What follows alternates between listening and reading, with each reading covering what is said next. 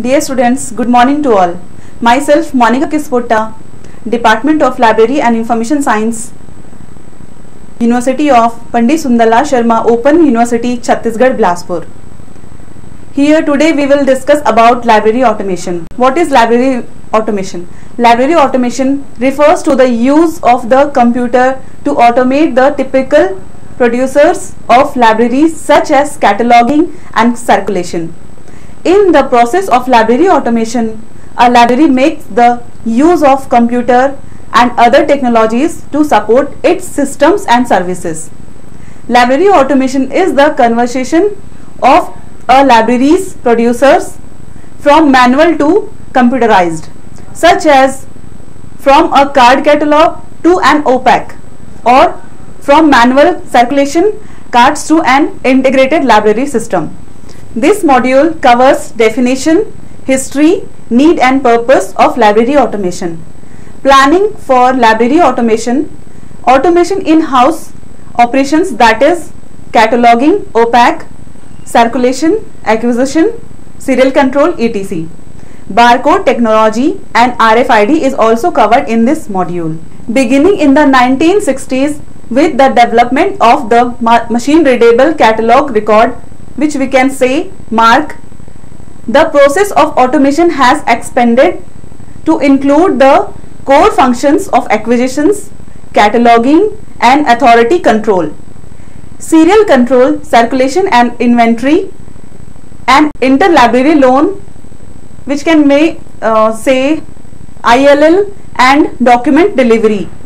The library automation field is currently dominated by a handful of systems, vendors, Autographics, EOS, International Ex Libris, Follett, Innovative Interface, Polaris Library Systems and Series of Denix, TLC and VTLS.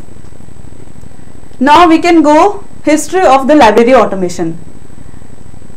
The initial work on library automation began in 1930s when punch cards equipment was implemented for circulation and acquisition in libraries.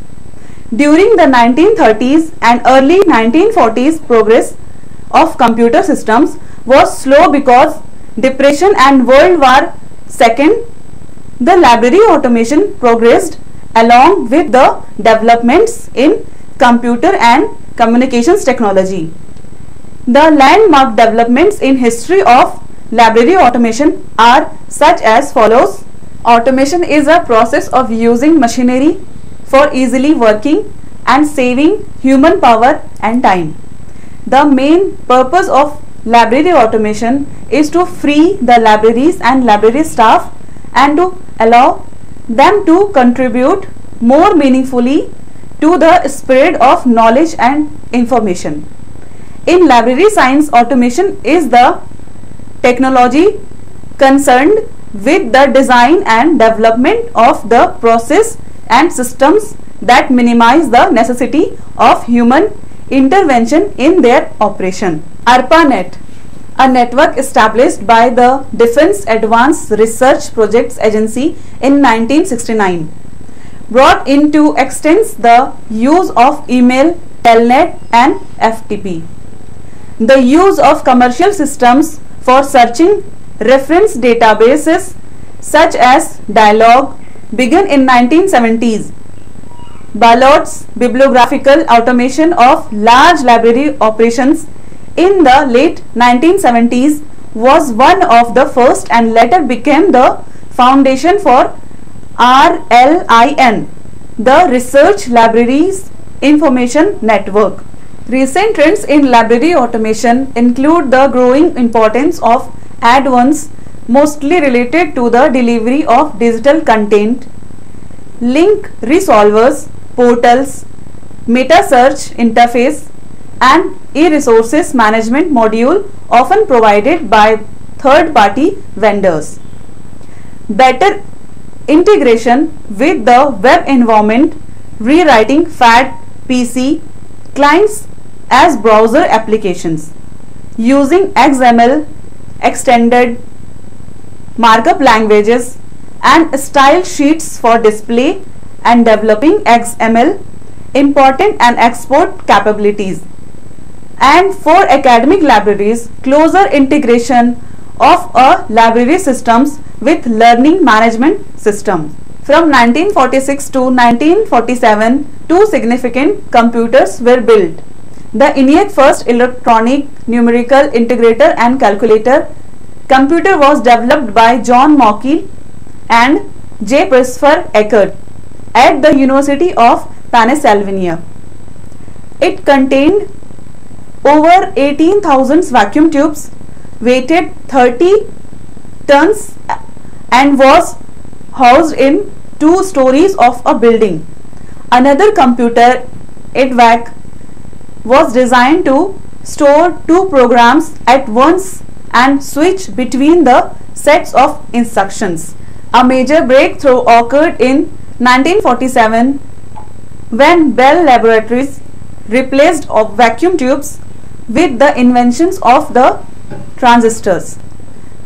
The transistors decrease the size of computer and at the same time increase the speed and capacity. Use of computer for the production of machine readable catalog records by the Library of Congress LOC in mid 1960s between 1965 and 1968.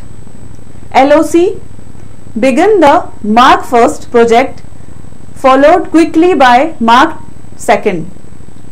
MARC was designed as way of tagging bibliographic record using three digit numbers to identify fields. The MARC II format become the basis of a standard incorporated by NISO National Information Standard Organization in 1974. This was a significant development because the standard meant that a bibliographic record could be read and transferred by the computer between different library systems. The online computers library centers started the first cooperative cataloging venture in 1970s. This significant project facilitated technical progressing of library materials in members libraries. The online computers library centers started its first cooperative cataloging venture in 1970s. This significant pro projects facilitated technical progressing of library materials in members libraries. A subnet of ARPANET made MELVYL the University of California Online Public Access Cataloging available on a national level in 1980s. The MELVYL is still used as centralized integrated library software by all the compares of universities of Columbia. During 1980s, the size of computers decreased at the same time technology provided faster chips, additional RAM and greater storage capacity. The use microcomputers during the 1980s expanded tremendously into the library. Library automations, definitions, need, purpose and advantages. Introduction Libraries are known for using information and communication technology both for automation of its routine activities as well as for providing such services to the users. Computers are increasingly used in libraries both for internal operations as well as for accessing information that is available in the four walls of the library. The applications of computers avoid repetitive jobs and save labor and time both for users as well as outside the library staff. Computers are not only used as a data processing tool but also the information storage, access and retrieval. Inventions of integrated circuits by Robert Noyce of Intel and Jack Kirby of Texas Instruments in 1960s can be considered as yet another landmark. All the components of an electronic circuit were placed into a signal chip of silicon. The UNESCO started contributing micro CDS IS in 1960s through its distribution centers in every developed country free availability of micro CDS IS. The UNESCO started contributing micro CDS IS in 1980s through its contribution centers in every developed country free availability of micro CDS IS developed especially for library applications provided a boon for the libraries in developing countries. Several integrated library packages started appearing in the marketplace. The Libsys in India was launched towards in the end of 1980s. In 1980s, several other software become available to libraries such as spreadsheets and databases for help in the library administration and information dissemination. The internet gave rise to yet another era in library automation, the use of network for email, FTP, telnet, internet and connections to online commercial systems grew. The World Wide Web WWW developed in 1993 become the fastest growing media of information delivery of all kinds. Expert systems and knowledge systems become available in the 90s with improvement in software and hardware capabilities with the development of more advanced silicon computers chips and large storage space and faster increased capacity definitions of library automation. The oxford english dictionary simpson and weiner 1989 defines automation as application of automatic control to any branch of industry or science of extension the use of electronic or mechanical devices to replace human labor. The library staff, especially the younger ones, finds use of computer interesting and exciting. Use of computers can be motivating factor for several library staff members. The IT increases productivity of library staff. It relieves professional staff from clerical course so that they can be fruitfully used for the user oriented library services and it improves quality of services rendered by the library. The introduction of CD-ROMs in the late 80s changed the way library operate. CD-ROMs become available containing databases, software and information previously once available through print making the information more accessible. Connections to outside databases such as OCLC, Dialog and RLIN continued however in the early 90s the databases that were previously available online become available on CD-ROM either the part or in their entirely. Library could then gain information through a variety of options. The UNIVAC first Universal Automatic Computer became the first computer using transistors and was used the US Bureau of a Census from 1951 until 1963. Software development also was in a progress during this time. Operating systems and programming languages were developed for the computers being built.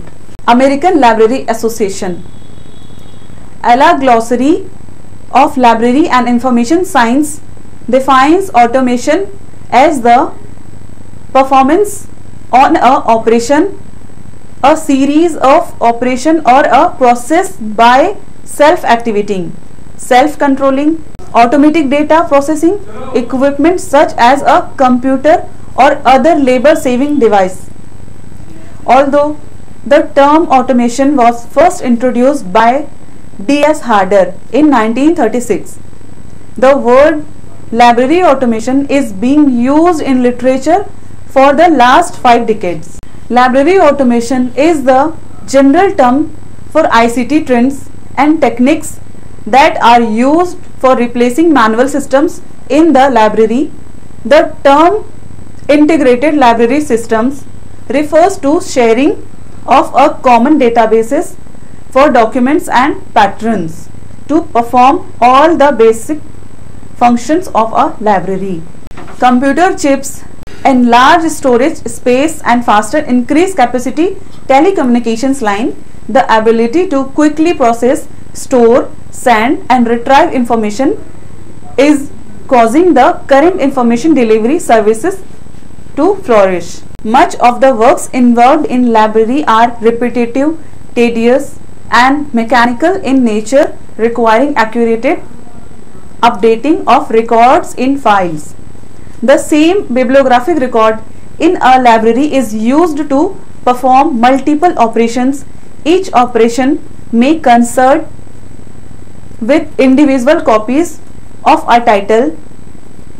A bibliographic record created at a time of ordering a document is first used for its acquisition, then for technical processing and subsequently for library OPAC circulation buildings etc. Automation permits decentralized access to a bibliographic record by multiple users.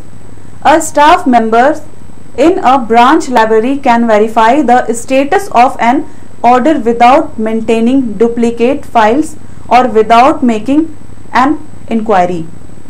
A user can check to see if a book is out on loan or available on this shelf of the library.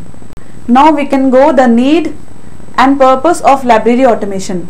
The exponential growth of information has made manual system redundant, necessitating requirements of computerized information storage and retrieval, effective and efficient handling of huge quantum of information is only possible by using computers which have the added advantages of being highly accurate and timely that adds value of information. Use of computer in automating the library routines is especially useful for the following reasons. According to Encyclopedia of Library and Information Science, Kent 1977, the library automation is the use of automatic and semi-automatic data processing machines to perform such traditional library activities as acquisition, cataloging and circulation. These activities are not necessarily performed on traditional ways. The activities themselves are those traditionally associated with the libraries. Library automation may thus be distinguished from related fields such as information retrieval, automatic indexing and abstracting and automatic textual analysis. Development of a new indexing technique called keyword in context KWIC we can say by the H.P. Luhn in 1961 for articles appearing the chemical abstracts. Although keyword indexing was not new, it was found to be very suitable for the computer as it was inexpensive and it presented multiple access points. The use of computer for information storage and retrieval began with the production of computer generated and printed indicates for scientific and technical literature in 1960s. Subsequently, several organizations started computers are not only for the generation and printing of indicates but also for the creation of computer readable databases. By early 1970s, several published indexing and abstracting journals such as Bibliographical Abstract, Chemical Abstracts, Index Medicus, etc. were not only produced by computer, they were also made available as computerized readable databases on magnetic tapes and several organizations started subscribing to them on magnetic media to organize local information storage and retrieval services. Access to the bibliographic record by multiple users, a staff member in a branch library can verify the status of an order without maintaining duplicate files or without making a, an inquiry. A user can check to see a book is out or loan available in the shelf of the library. The applications of information technology in libraries results in increased operational efficiency. It ensures ease of functioning accuracy and economy in human labor with greater speed. The application of information technology in libraries results in increased op operational efficiency. It ensures ease of functioning accuracy and economy in human labor with greater speed. Dear students, I hope this lecture will be useful for us and satisfy to you. Thank you.